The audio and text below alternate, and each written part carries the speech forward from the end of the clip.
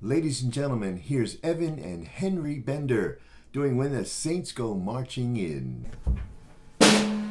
One, two, three, four.